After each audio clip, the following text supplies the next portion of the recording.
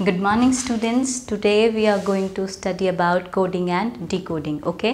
आज हम coding decoding करेंगे देखिए कोडिंग क्या होता है कोडिंग एक तरह का सिग्नल होता है जो सेंडर किसको भेजता है रिसीवर को भेजता है, ठीक है तो सेंडर जब कोड रिसीवर को भेजता है तो रिसीवर उस कोड को डिकोड करता है okay so let us start coding decoding coding decoding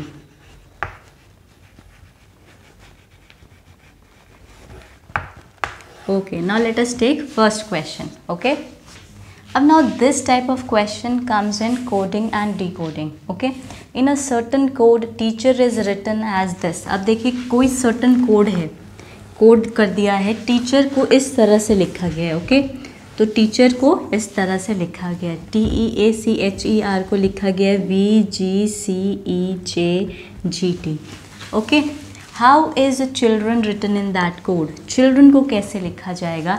इसी फॉर्म ऑफ़ कोड में जैसे टीचर को इस तरह से लिखा गया है okay and the option which are given is E J K N E G T P E G K N F I T P E G K N F G T O and E G K N F T G P okay it was आज in one of the competitive exam अब देखिए इसको कैसे करेंगे? सबसे पहले तो हमें जो रिलेशन दिया हुआ है, जैसे टीचर को क्या लिखा हुआ, वो लिख देंगे हम। टीचर इज़ रिटन टीचर को लिखा है इन्होंने V G C V G C E J G T okay तो इसका मतलब इन्होंने टी से बनाया है वी अब देखिए टी के बाद वी कैसे आ सकता है? टी में आप कितना ऐड करेंगे? टी अल्फ़ाबेट है। टी अल्फ़ाबेट में आप ऐड करेंगे टू यू वी आ जाएगा आपका, ठीक है? सिमिलरली ई में आप कितना ऐड करेंगे? ई में भी आपको टू ऐड करना पड़ेगा। नेक्स्ट ए में भी आपको कितना ऐड करना पड़ेगा? टू सिमिलरली सी में भी आपको कितना ऐड किया हमने? टू ऐड किया है तो हमारे पास क्या आ गया? ई एच में हमने कितना ऐड किया है? एच में भी हमने कितना ऐड किया है? टू ऐड किया है। सिमिलरली नेक्स्ट ई में भी हमने कितना ऐड किया है? टू ऐड किया है। And last but not the least R R में भी हमने कितना ऐड किया है? टू। तो इसमें जो आपका कोड था, ठीक है ना? कोड था टीचर और उसको डिकोड जो किया हुआ है, वो प्लस टू टू करके किया हुआ है, ठीक है? तो आपका अब सेम मैटर में हमने मैनर में चिल्ड्रन को करना है, ठीक है? अब चिल्ड्रन को किस तरह से हम लिखेंगे? अब चिल्ड्रन को इस कोड में कैसे लिखा जाएगा? तो ऑब्वियस सी बात है, इसमें हर अल्फ़ाबेट में हम क्या ऐड करेंगे? टू ठीक है? तो अगर हम सी में टू ऐड कर देते हैं तो सी के बाद क्या आता है हमारा? डी ई एच आई जे आई जे के के आ गया आपका L M N D E F R S T E F G N M O P okay तो our option which is coming is this that is हमारा होना चाहिए आपके पास E J K N F G P okay N F T G P our option D will be correct okay तो in this way you will find coding decoding ठीक है? तो अगर आपको जो भी वर्ड दिया होगा, ठीक है? सर्टन कोड में टीचर को इस तरह से लिखा जाता है तो सिमिलरली आपने चिल्ड्रन को भी सेम उसी कोड में बनाना है okay now the next question this question was आज in bank PO exam okay? In a certain code loot l u t e is written as m u t e and fate is written as gate g a t e how will blue be written in that code okay तो अब यहाँ पर क्या दिया हुआ है एक certain code है जिसमें हम लूट को लिखते हैं एल यू टी ई को लिखा जाता है आपका एम यू टी ई ठीक है आपका फेट को लिखा जाता है gate F A T E को लिखा जाता है G A T E in the same manner you have to write for blue B L U के लिए आपने लिखना है, ठीक है? अगर आप ध्यान से देखें तो देखिए यहाँ पर हम एक पैटर्न जो कॉमन क्या नोट कर रहे हैं? देखिए यू टी ई ये चेंज नहीं हो रहा है। फ़र्स्ट लेटर आपका इंक्रीमेंट हो रहा है वन के साथ। देखिए एल के बाद अगर हम एल में वन प्लस करते हैं तो एम आता है। ठीक है? But U as it is आ गया टी एज इट इज़ आ गया ई एज इट इज़ आ गया। सिमिलर मैनर में यहाँ देख लीजिए। एफ़ में अगर हम वन प्लस कर रहे हैं तो जी आ रहा है। बट बाकी जो आपके सेम है ए टी ई वो सेम रिपीट हो रहा है। ठीक है? तो वैसे ही आपका सी बी के बाद क्या आता है? अगर हम उसमें एक ऐड करेंगे तो वो आ जाएगा हमारा सी और बाकी सिमिलरली एल यू ई हम ऐसे ही लिख देंगे। तो हमारा क्या बन जाएगा? C L U E okay so our option A will be correct that is C L U E okay Now, question number three is, in a certain code, fish is written as. Fish को कैसे लिखा जाता है? Fish को लिखा जाता है आपका E H R G how jungle will be written in that code ठीक है? तो जिस तरह से फ़िश को हमने ई एच आर जी लिखा है तो हम जंगल को क्या लिख सकते हैं? Okay and the option which are given I T M K D D K D I T N F K D K V O H M F T I M F K D okay now start देखिए fish F I S H fish को हम लिख सकते हैं E H R G obvious ही बात है। देखिए F अगर एफ़ में से हम एक सब्ट्रैक्ट कर देंगे तो हमारे पास क्या आ जाएगा? जी सिमिलरली एच में से एक सब्ट्रैक्ट कर देंगे तो आ जाएगा। सॉरी आई में से तो एच ठीक है ना? तो आप यहाँ से भी कर सकते हैं, चाहे देखिए आई आई के बाद एफ़ एच के बाद आई आर के बाद एस जी के बाद एच ठीक है? तो इन सब में से एक एक आपका क्या हो रखा है? सब्ट्रैक्ट हो रखा है। तो आपको ये जो है वर्ड मिला है, ठीक है? तो सिमिलरली जो आपको निकालना है जंगल जंगल में से भी आपको एक एक जो है सब ट्रैक करना है। तो आपको मिल जाएगा जे में से अगर हम वन सब्ट्रैक करते हैं तो आता है आई ओके ठीक है? वैसे ही अगर हम u में से एक सब्ट्रैक्ट करते हैं तो हमें मिलता है t. ठीक है? Similarly if we subtract one from N तो हमें मिलता है m. ठीक है? तो अगर आप ध्यान से देखें देखें ऑप्शन आई टी एम हमें पहले ही पता चल गया आई टी एम ए तो आपको फर्दर सारे निकालने की ज़रूरत नहीं है, ठीक है? अपना टाइम बचाना आपने। ठीक है? दिस क्वेश्चन वॉज़ आज इन एस एस एग्ज़ाम तो जितना आप टाइम बचा सकते हैं, अपना बचाइए। देखिए, क्योंकि इसमें ऑप्शन आई टी एम से स्टार्ट है। यहाँ भी आई टी था तो इसीलिए हम थर्ड तक गए। बट यहाँ एन आ रहा है, यहाँ आपका एम आ गया तो ये वाला आपका करेक्ट हो गया। ये तो आपका के से स्टार्ट है और लास्ट वाला आपका टी से स्टार्ट है। तो ऑब्वियस सी बात है, कौन सा आंसर है आपका ए अगर आप फर्दर करना चाहें तो देख लीजिए, इसमें से करेंगे एफ़ आ जाएगा।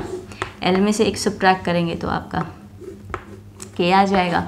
और सिमिलरली ई e में से एक सब्ट्रैक्ट करेंगे तो आपका डी आ जाएगा okay so option A is correct okay now the next question is in a certain code favour is written as E B U P T S how is danger be written in that code okay तो किस तरह से लिखा हुआ है? Favour को लिखा हुआ है E B U P T S आपको वैसे ही डेंजर को लिखना है, ठीक है? And the option which are given is C B F F D S C B M H D S E B F H D S and E B H H F S okay now let us start हमें given है favour ठीक है favour को लिखना है आपने. E B U P T S okay तो favour को लिखना है आपने कैसे? E B U P T S अब देखिए अब अगर फ़र्स्ट अल्फ़ाबेट की बात करें तो फ़र्स्ट वेल अल्फ़ाबेट में हमने क्या किया हुआ है? सब्ट्रैक्ट किया हुआ है। अगर हम एफ़ में से वन को सब्ट्रैक्ट करें तो हमारे पास ई e आ जाता है, ठीक है? वहीं सेकेंड अल्फ़ाबेट आपके पास क्या आया हुआ है? ए के बाद बी तो यानी इसमें हमने क्या ऐड किया हुआ है? इसमें हमने वन ऐड किया हुआ है, ठीक है? सिमिलरली नेक्स्ट में चलिए, इसमें हमने माइनस वन किया है। उससे अगले में हमने प्लस वन किया है, ठीक है? इसके में यू के बाद टी, यू से पहले आता है टी तो इसीलिए यहाँ पर हमने माइनस वन किया हुआ है। वैसे ही आर के बाद, आर के बाद हमारा एस आता है तो आर प्लस वन एस। मतलब इसमें क्या ऑल्टरनेटिवली एक बार माइनस हो रहा है, एक बार प्लस हो रहा है। माइनस हो रहा है, प्लस हो रहा है, ठीक है? तो सिमिलर मैनर में आपका डेंजर भी बन जाएगा।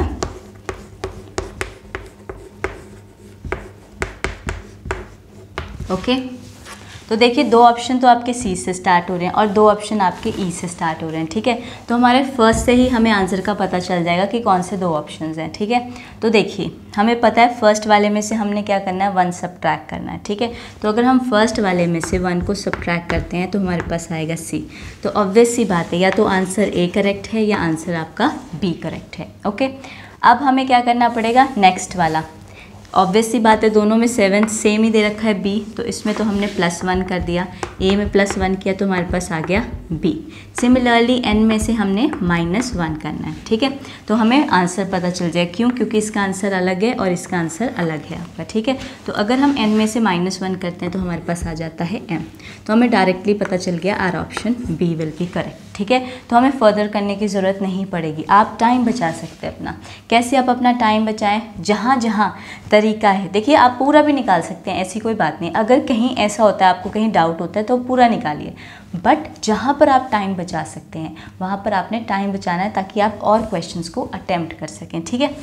आप इसको कर सकते हैं दोबारा। आगे प्लस वन करेंगे तो आपका एच आ जाएगा। माइनस वन करेंगे।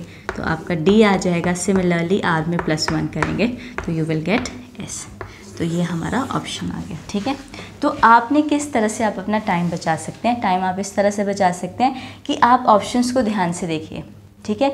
कई बार ऐसे होते हैं ऑप्शन ऐसे होते हैं कि आपका फ़र्स्ट अल्फ़ाबेट निकालते ही पूरा आंसर पता चल जाता है आपको, क्योंकि उसमें सारे फ़र्स्ट के फ़र्स्ट अल्फ़ाबेट ही अलग होते हैं। तो हमें पूरा निकालने की ज़रूरत भी नहीं होती है, ठीक है? बट हाँ ऐसा होता है, कभी आपको लगता है कि आपका मिस्टेक हो गया है कुछ तो आप निकाल सकते हो, ठीक है? वरना आप जितना कम समय लेंगे तो आपके लिए बेनिफिट होएगा टाइम बचेगा तो आप और ज़्यादा क्वेश्चन अटैम्प्ट कर पाएँगे। देखिए यही इसमें शॉर्ट ट्रिक्स क्वेश्चन करने की यही होती है कि आप टाइम मैनेज कैसे करें। और टाइम मैनेजमेंट का सबसे अच्छा तरीका है कि आप आंसर तो निकालें ही निकालें बट साथ में आप ऑप्शन के साथ भी कंपेयर करते रहें ठीक है? ताकि आपको पूरा निकालने की ज़रूरत ना पड़े okay now the next question this question was आज in U P S C exam okay In a certain code, summer, S-U-M-M-E-R, is written as runner, R-U-N-N-E-R. How is winter be written in that code ठीक है? जिस तरह से summer को runner लिखा गया है सेम वे में रिटर्न को क्या लिखा जाएगा? So S U I T E R option A is B is V I O U E R number C is W A L K E R and number D is S U F F E R ठीक है? तो क्या लिखा जाएगा? Let us start summer is written as runner summer को क्या लिखा गया है? Run. Okay now let us see देखिए, सबसे पहले, अगर हम एस में से वन सब करते हैं तो हमारे पास क्या आ जाएगा? आर आ जाएगा, ठीक है? ओके यहाँ पर आपका यू है, ये भी यू है, यहाँ पर सेकेंड वर्ड में कोई चेंज नहीं है आपका सेकेंड अल्फ़ाबेट में, ठीक है? थर्ड की बात की जाए तो थर्ड में क्या है? आपका प्लस वन कर दिया है थर्ड में प्लस वन किया हुआ है फोर्थ में क्या किया है? एम के बाद एन इसमें भी प्लस वन किया हुआ है। यानी आपका जो थर्ड है और जो फोर्थ है, वो प्लस वन वन की रिलेशन में आ रहा है। ठीक है? सिमिलरली जो आपका लास्ट में है ई e आर उसको एज इट इज़ रिटर्न कर दिया है। तो इसमें बहुत सारे ऑप्शन जो हैं एक साथ लग रहे हैं। क्या? फ़र्स्ट लग रहा है कि आपका फ़र्स्ट जो अल्फ़ाबेट होगा, ठीक है? उनमें जो रिलेशन है, वो माइनस वन का रिलेशन है। सेकंड वाले को हम एज इट इज़ रखेंगे। जो थर्ड आपका थर्ड और फोर्थ वाला है, उसमें क्या करा है? इंक्रीमेंट ऑफ़ वन ठीक है? एम के बाद क्या आता है आपके पास? एन एम के बाद आता है एन और जो लास्ट के दो हैं आपके फिफ्थ और सिक्स पोजीशन पे हैं, उनको एज इट इज़ रखा गया ठीक है? तो सेम आपने किसके ऊपर निकालना है? विंटर ओके तो नाउ लेट अस स्टार्ट सबसे पहले तो आपको माइनस वन करना है। अगर हम W में से माइनस वन कर देते हैं तो आपके पास क्या आ जाएगा? V. ओके वी के बाद ही आता है ना डब्ल्यू ओके तो ऑप्शन देखिए। Option B will be correct ठीक है? तो आपको देखिए फ़र्स्ट निकाल के ही पता चल गया। आपको रेस्ट निकालने की ज़रूरत ही नहीं है, ठीक है? तो इस तरह से अगर आप रिलेशन एक बार निकाल लेते हैं, ठीक है, इसको ध्यान से तो आपको आगे निकालने की ज़रूरत ही नहीं है। बाकी हम, मैं तो पूरा निकाल के दिखा देती हूँ आपको बट आप टाइम बचाइए अपना, ठीक है? बाकी हमने कहा था कि जो सेकेंड और थर्ड होगा, इसमें हमने इंक्रीमेंट ऑफ़ वन करना है, ठीक है? सेकेंड तो सॉरी सेकेंड हमारा एज इट इज़ आएगा थर्ड और फोर्थ में इंक्रीमेंट वन होगा तो ये आपका एज इट इज़ आ जाएगा ओके थर्ड और फोर्थ में इंक्रीमेंट ऑफ़ वन होगा तो एन के बाद आता है आपका ओ टी के बाद आता है आपका यू ठीक है? और लास्ट के एज इट इज़ आ जाएँगे हमारे। Okay so our option B will be correct okay तो इस तरह से आप इसमें कोडिंग और डी करते हैं okay so So that is all about for today. If you are having any doubt anywhere, leave the comment below and do like and subscribe our channel. Thank you so much.